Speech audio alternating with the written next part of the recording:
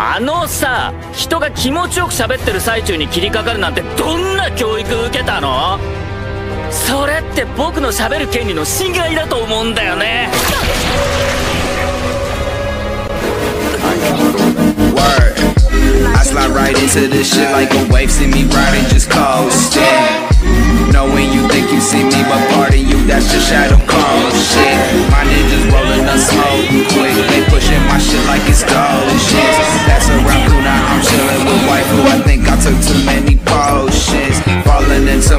My genjutsu, I noticed he feeling so lost in the way like the ocean.